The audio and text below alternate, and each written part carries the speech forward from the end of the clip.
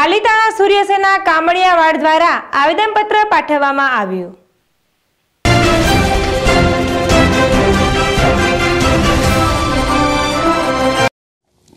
પાલીતાણા સૂર્યસેના અને કામરિયાવાડ કાઠી સમાજ દ્વારા કલેક્ટર કચેરી ખાતે મોટી સંખ્યામાં ઉપસ્થિત રહી આવેદનપત્ર પાઠવવામાં આવ્યું, જેમાં ખાસ કાઠી સમાજના અગ્રણી મુન્નાભાઈ રબારિકા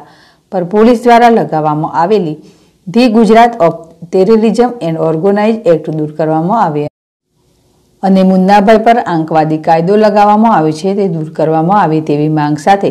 પાલિતાણા કાઠી સમાજ સૂર્યસેના કામરિયાવાડ દ્વારા કલેક્ટર કચેરીએ આવેદનપત્ર આપી રજૂઆત કરવામાં આવી હતી.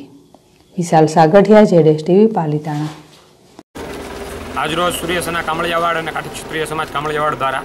અમરેલી જિલ્લામાં ગુજકોટ the Gujarat